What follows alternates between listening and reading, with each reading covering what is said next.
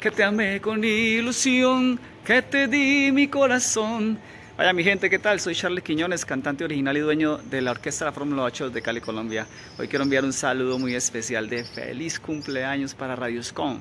Vaya, 17 años en línea. Un abrazo fuerte, gracias por el apoyo que iba a la salsa caleña.